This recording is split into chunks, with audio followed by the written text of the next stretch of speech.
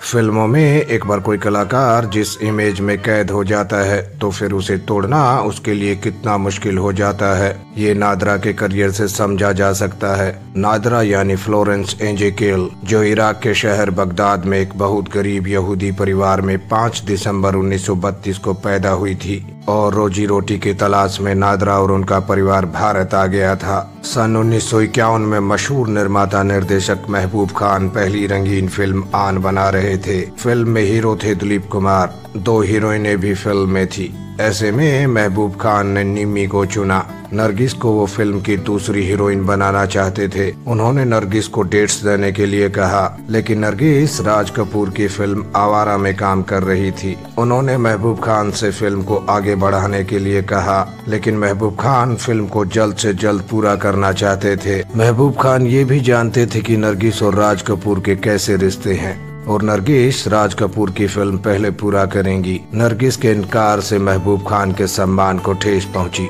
वो दिलीप कुमार के साथ किसी नई हीरोइन को नहीं लेना चाहते थे। उन्होंने ये बात अपनी पत्नी सरदार अख्तर को बताई। पति को दुखी देखकर सरदार अख्तर ने ये तय किया कि वो नरगिस के मुकाबले कोई विकल्प खड़ा करेंगी। नादरा भी काम की तलाश में हर स्टूडियो, हर प्रोड्यूसर के यहाँ अपनी फ़ोटो छोड़ रही थी। ऐसे में सरदार अख्तर ने नादरा से मुलाकात की और फिर स्क्रीन टेस्ट के बाद ये पाया कि ये लड़की नरगिस को टक्कर दे सकती है। अंत में तय हुआ कि 18 साल की नादरा ही आन में दिलीप कुमार की हीरोइन बनेगी। महबूब खान ने फ्लोरेंस एंजेकेल को एक नया नाम दिया नादरा, क्योंकि ये नाम नरगिस के नाम से मिलता जुलता था और आन के लिए नादरा को शाइन किया। लेकिन नादरा की माँ को यह पसंद नहीं आया। उन्होंने जब कहा था कि फ़िल्मों में काम करना बुरा माना जाता है, और अब नादरा सिनेगांग यानी यहूदी पूजा स्थल भी नहीं जा सकेंगी, और कोई यहूदी उनसे शादी नहीं करेगा। तब नादरा ने कहा था कि फ़िलहाल तो हमारी बुनियादी ज़रूरत शाम के खाने का इंतज़ाम करना है। फ़िल्मों में काम करना बुरा है तो भूखा मरना उससे भी ज़्यादा बुरा है। महबूब खान ने नादरा को बारह सौ रूपए महीने पर आन के लिए साइन किया था। जब तीन महीने की छत्तीस सौ रूपए तनख्वाह एक साथ मिली तो नादरा ने कहा कि इतना पैसा लेकर वो अकेले घर नहीं जा सकती। उनकी सुरक्षा का इंतज़ाम किया जाए। तब महबूब खान ने उन्हें अपनी गाड़ी में घर छुड़वाया था। माँ बेटी ने जीवन में इतनी बड़ी रकम पहली बार देखी थी। पहले तो कई दिनों बाद दोनों ने भरपेट खाना खाया। फिर चोरी के डर के मारे दोनों रात भर जागती रही। अगले दिन सबसे पहले उन्होंने सोने का एक सेट खरीदा और घर का फर्नीचर लिया। आन ने कमाई के नए रिकॉर्ड बनाए। ये पहली फ़िल्म थी जो सत्रह भाषाओं के सबटाइटल के साथ 28 देशों में रिलीज़ हुई थी और लंदन में फ़िल्म का प्रीमियर हुआ। फ़िल्म की सफलता ने नादरा को रातों रात स्टार बना दिया। राजकुमारी वो तलवार से ज़्यादा कातिल है। उसने अभी तक मेरी मोहब्बत का इकरार नहीं किया। नादरा रोल्स रॉयस कार खरीदने वाली पहली हिंदी सिनेमा की अभिनेत्री बनी, जो उस समय सबसे महँगी विदेशी कारों में से एक थी।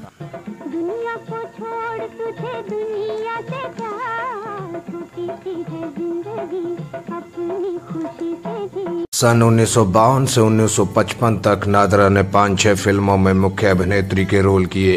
लोग उन्हें पसंद करने लगे थे और नरगिस और मधुबाला का विकल्प मानने लगे थे। कई फ़िल्में नरगिस के हाथ से निकलकर नादरा की झोली में आ गई थी। ऐसे में राज कपूर ने इनकी कहानी बदल दी। राज कपूर ने 1956 में आई फ़िल्म श्री 420 में नादरा को पहली बार खलनायिका के रूप में पर्दे पर उतारा। मैंने चंद घंटों के लिए तुम्हें एक नई ज़िंदगी उधार दे दी तो दिमाग खराब हो हम लोगों की बराबरी करते हो। औकात मत भूलो कि तुम एक लौंडी में पैंतालीस रुपए में नौकर कपड़ों पर नज़र डालो। अपनी सूरत आईने में देखो। जाओ वापस उसी कटर में जहाँ से तुम आए इस फ़िल्म में उनका और उनके वैम्प के किरदार ने भी हलचल मचा दी। इस फ़िल्म में उनके सिगरेट पकड़ने के अंदाज को बाद में कई हीरोइनों ने दोहराने की विफल कोशिशें की। इस फ़िल्म ने उनके करियर की दिशा बदल दी। नादरा को इस बात का जरा भी अंदाज़ा नहीं था कि उनके करियर के साथ क्या होने वाला है। कहा यह भी जाता है कि नरगिस का रास्ता साफ़ करने के लिए राज कपूर ने जानबूझकर नादरा को खलनायिका के रूप में पर्दे पर उतारा था और नरगिस को फ़िल्म की हीरोइन बनाया। बाद में नादरा ने खुद एक इंटरव्यू में बताया था कि श्री 420 के बाद कोई भी फिल्मकार उन्हें हीरोइन का किरदार नहीं देना चाहता था। सब उनके पास वैम्प के किरदार लेकर आते थे। शुरुआत में तो उन्होंने ये रोल कबूल नहीं किए और इसका फ़ायदा मिला शशि कला को। लेकिन महीनों उन्हें काम नहीं मिला, जिसके बाद वो खलनायिका की भूमिकाएँ करने लगी। नादरा ने शादी की मशहूर गीतकार और फिल्मकार जे नक्शाब से, मगर ये शादी नहीं चली। नक्शाब ने उन्हीं के पैसों से फ़िल्में बनाई और उनके रुतबे का फ़ायदा उठाया। यहाँ तक तो फिर भी ठीक था, मगर वो बेहद रशिक किस्म के आदमी थे और जब नादरा बर्दाश्त नहीं कर पाई। मैं घर से हरगिज नहीं जाऊँगी।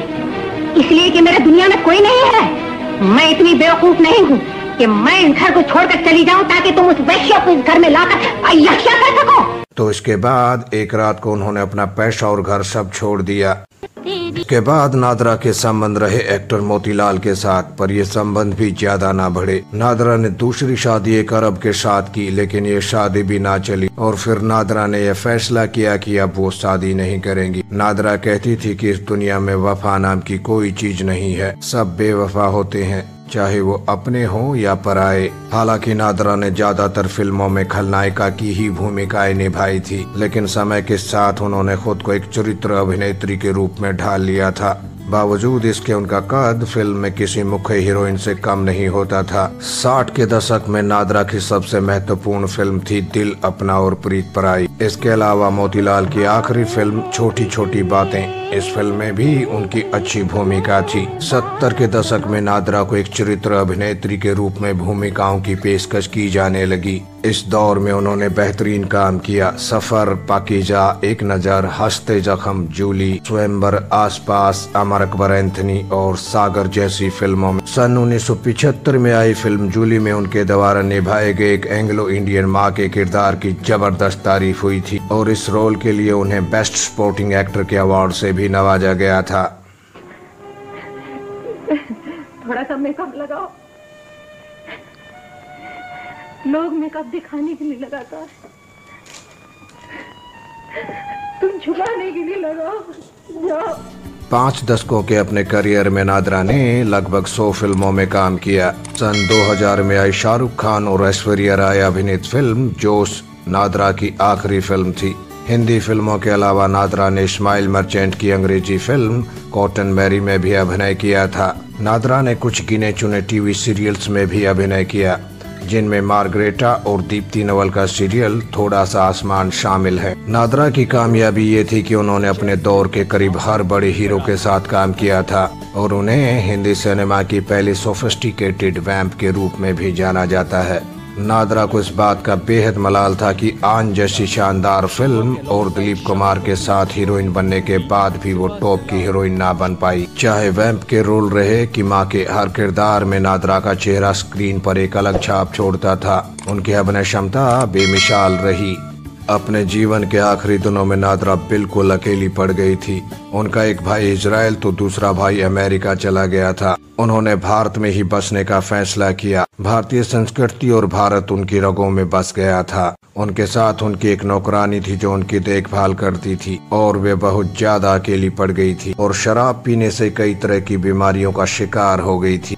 9 फरवरी 2006 को उन्होंने दुनिया को अलविदा कह दिया। नादरा ने अपनी वसीयत में यहूदी होने के बावजूद खुद को दफनाने की बजाय हिंदी रीति रिवाज से जलाकर अंतिम संस्कार करने की इच्छा जताई थी, जिसे पूरा किया गया। नादरा को हिंदी सिनेमा में उनके योगदान के लिए हमेशा याद किया जाएगा। आशा करते हैं ये जानकारी आपको पसंद आई होगी। दोस्तों, चैनल को सब्सक्राइब करें और बेल बटन को दबाना न भूलें। धन्यवाद।